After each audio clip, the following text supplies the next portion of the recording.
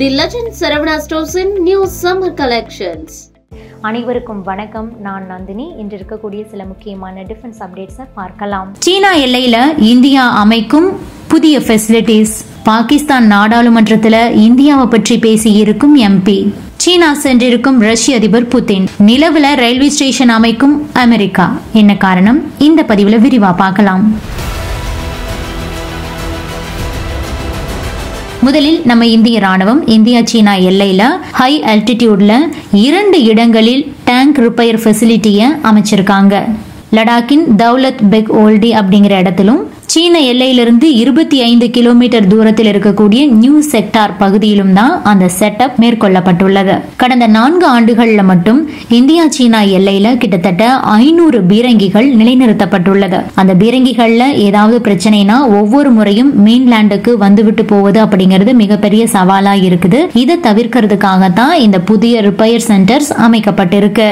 அடுத்ததா பாகிஸ்தான் நாடாளுமன்றத்துல அந்த நாட்டு எம்பி இந்தியாவை பற்றி பேசி இருக்கக்கூடிய ஒரு விஷயம் உலக அளவில் கவனத்தை பெற்றிருக்கு. பாகிஸ்தான இந்தியாவோடு ஒப்பிட்டு பேசியிருக்காரு. பாகிஸ்தான் நாட்டோட எம்பி சையத் முஸ்தபா கமல். அவர் என்ன சொல்லியிருக்காருன்னா உலக நாடுகள் நிலவில் தரையிறங்குறாங்க ஆனா நமது கராச்சியில இருக்கிற குழந்தைகள் உயிரிழந்துகிட்டு இருக்காங்க. ஒரு பக்கம் இந்தியா நிலவில் தரையிறங்கியது குறித்த செய்தி வெளியாகுது. அடுத்த சில நொடிகள்ல கராச்சி குறித்த செய்தியும் வெளியாகுது. கராச்சி பாகிஸ்தானுக்கு வருவாய் ஈட்டி தரும் ஒரு பகுதியாக உள்ளது. இரண்டு துறைமுகங்கள் உள்ளன. மத்திய ஆசியா ஆப்கானிஸ்தான் மற்றும் பாகிஸ்தானுடைய நுழைவு வாயிலாக இந்த நகரம் உள்ளது. சுமார் அறுபத்தி எட்டு சதவிகித வருவாயை நாட்டு நாட்டுக்காக ஈட்டி தரும் நகரமாக விளங்குகிறது. இருந்தும் கூட கராச்சிக்கு தேவையான தண்ணீர் கூட வழங்கப்படுவதில்லை. அப்படியே தண்ணீர் வந்தாலும் நீரை விற்பனை செய்து வரும் மாஃபியாக்கள் அதனை பதுக்கி மக்களுக்கு காசுக்காக விற்பனை செய்து கொண்டிருக்கிறார்கள். நாட்டில் இரண்டு கோடியே அறுபத்தி இரண்டு லட்சம் குழந்தைகள் பள்ளிகளுக்கு செல்வதில்லை. இது எழுபது உலக நாடுகளின் மக்கள் தொகையை காட்டிலும் அதிகம். இந்தியா தற்போது வளர்ச்சி கண்டு வருகிறது என்றால் அந்த நாட்டில் உள்ள கல்வி முறையும் அதற்கு காரணம்.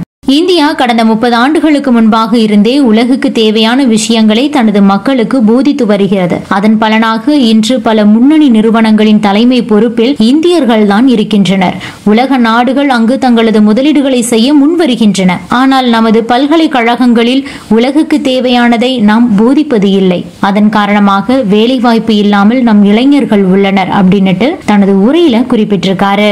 அடுத்ததா ரஷ்ய அதிபர் புதின் இரண்டு நாள் அரசுமுறை பயணமா சீனாவுக்கு போயிருக்காரு. சீன அதிபர் ஜி ஜின்பிங்குடைய அழைப்பை ஏற்று இந்த பயணத்தை மேற்கொண்டிருக்காரு புதின். ரஷ்ய அதிபரா ஐந்தாவது முறையாக பதவியேற்ற பின்பு புதின் மேற்கொள்ளக்கூடிய முதல் வெளிநாட்டு பயணம் இதுதான். புதினுக்கு சீனாவில் உற்சாக வரவேற்பு கொடுக்கப்பட்டிருக்கு. என்னுடைய பெஸ்ட் ஃப்ரெண்டை நான் அன்போடு வரவேற்கிறேன் அப்படின்னு சொல்லி அழைச்சிருக்காரு ஜி ஜின்பிங் உக்ரைன் ரஷ்யா போர் இரண்டு ஆண்டுகளை கடந்து நடந்து வருது.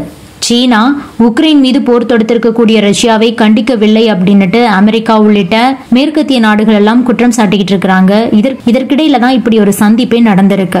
இஸ்ரேல் காசா போரை முடிவுக்கு கொண்டு வருவதுதான் மிக முக்கியமான தேவையாக தற்போது இருக்கிறது அப்படின்னுட்டு இரண்டு நாட்டு தலைவர்களும் சந்திச்சு பேசியிருக்காங்களாம். இரண்டு நாடுகளும் சேர்ந்து ஜாயிண்ட் மிலிட்ரி ட்ரில்ஸை அதிக அளவில் செய்ய வேண்டும் அப்படிங்கிறதுக்கான ஒப்பந்தமும் கூட போடப்பட்டிருக்கான் இருப்பினும் கூட இரண்டு நாட்டு தலைவர்களும் என்ன பேசிக்கிட்டாங்க என்னென்ன ஒப்பந்தங்கள் கையெழுத்தாகி இருக்கு அப்படிங்கறது பற்றின அதிகமான தகவல்கள் இனிமேல் தான் வெளியாகும்னு எதிர்பார்க்கலாம். அடுத்ததா இந்தியா சீனா எல்லையை ஒட்டி இருக்கக்கூடிய இந்திய எல்லையோர கிராம பகுதிகளை சாலை வழியாக இணைக்கக்கூடிய வகையில வைப்ரண்ட் வில்லேஜ் ப்ரோக்ராம் மூலமாக சாலை கட்டமைப்பு பணிகளை நம்ம இந்தியா மேற்கொண்டு வருது. சீனாவை ஒட்டி அமைந்திருக்கக்கூடிய சுமார் நூத்தி அறுபத்தி ஒன்பது கிராமங்களுக்கு முறையான சாலை வசதி இல்லைன்னு சொல்லப்படுது. எனவே கடந்த ஐந்து மாதங்கள்ல சுமார் நூத்தி பதிமூன்று சாலைகள் அமைக்கிறதுக்கு மத்திய உள்துறை அமைச்சகம் அனுமதி வழங்கியிருக்காங்க. அதன்படி அருணாச்சல பிரதேசத்தில் நூத்தி ஐந்து உத்தரகாண்ட்ல ஐந்து மற்றும் சிக்கிம்ல மூன்று சாலைகள் அமைக்கப்பட உள்ளது. இதன் மூலமா சீன எல்லையை ஒட்டி இருக்கக்கூடிய அருணாச்சல பிரதேசம் ஹிமாச்சல் சிக்கிம் உத்தரகாண்ட் மற்றும் லடாக்கில் இருக்கக்கூடிய இந்திய கிராம பகுதிகளுக்கான சாலை வசதிகள் மேம்படுத்தப்பட இருக்கு. அடுத்ததா அமெரிக்காவோட விண்வெளி ஆராய்ச்சி மையமான நாசா நிலவில் ரயில்களை இயக்க திட்டமிட்டிருக்காங்க. ஃபர்ஸ்ட் லூனார் ரயில்வே ஸ்டேஷனை அமைக்க போறாங்களாம் அமெரிக்கா. இந்த ரயில் பூமியில இருக்கிற மாதிரி இல்லாம கொஞ்சம் வித்தியாசமானதா இருக்கும். ரோபோட்டிக் டிரான்ஸ்போர்ட் சிஸ்டம் தான் பயன்படுத்தப்பட இருக்கு. நிலவுல ரயில் ஃப்ளோட் அப்படிங்கிற ஒரு அமைப்பின் மீது தான் இயங்க போகுது. ஃப்ளோட் அப்படின்னா flexible levitation on a track இந்த அமைப்பு பார்த்தீங்கன்னா காந்த விசையை பயன்படுத்தி மிதக்கக்கூடிய மூன்று கட்ட ட்ராக் கிராஃபைட் மூலமா அமைக்கப்பட்ட பாதையில காந்த விசையால் மிதந்தபடி இந்த ரயில்கள் இயங்க போகுது. இந்த ஃப்ளோட் ரோபோக்களுக்கு அசையும் பாகங்கள் எதுவும் இருக்காது.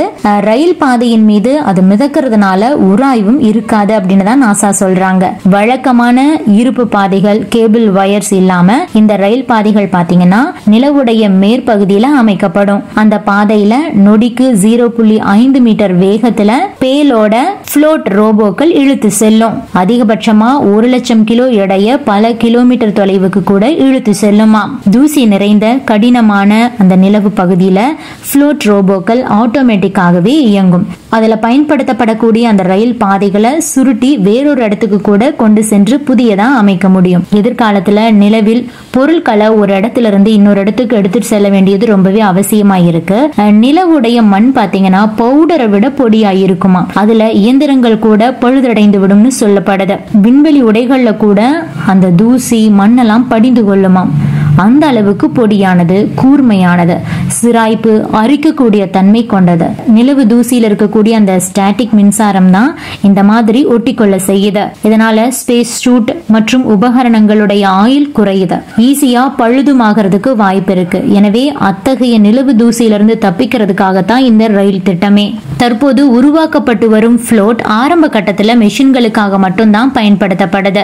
அந்த ஃப்ளோட் அப்படிங்கிறது மிதக்கக்கூடிய த்ரீ லேயர் ஃபிலிம் ட்ராக் அதில் தான் கார்ட் அப்படின்னு சொல்லப்படக்கூடிய வண்டியை மவுண்ட் பண்ணிடுவாங்களாம்.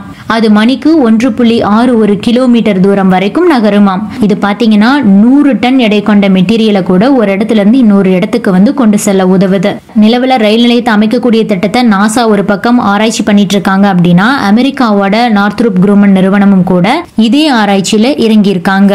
நிலவில் நாசா ரயில் நிலையங்கள் எக்ஸ்பிரஸ் ரயில்களை இயக்குறதுக்கு திட்டமிடக்கூடிய இதே வேளையில ரஷ்யா விண்வெளியில மிக பிரம்மாண்டமான அணுசக்தி நிலையத்தை அமைக்க திட்டமிட்டிருக்காங்க. இதன் மூலம் விண்வெளியில நிரந்தரமா விண்வெளி ஆராய்ச்சி நிலையத்தை அமைக்கிறதுக்கு ரஷ்யா முடிவு பண்ணிருக்காங்க இந்தியாவோ சந்திரனுக்கு பின்பு மங்கள்யான் ககன்யான் நிலவுக்கு மனிதன் அனுப்பக்கூடிய திட்டங்கள் அப்படின்னுட்டு மும்மரமா இருக்கு இன்னும் சில ஆண்டுகள்ல விண்வெளியும் கூட ரொம்பவே பிஸி ஆகிடும் இது பற்றி நீங்க என்ன நினைக்கிறீங்க? உங்களுடைய கருத்துக்களையும் பதிவு பண்ணுங்க.